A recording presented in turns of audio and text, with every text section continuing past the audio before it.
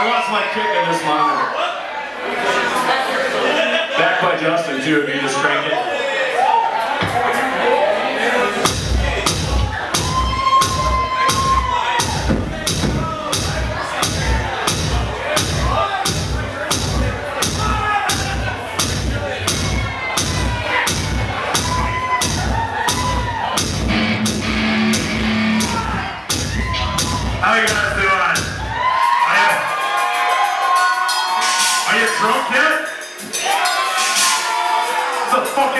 So you better be almost shit wasted at this point.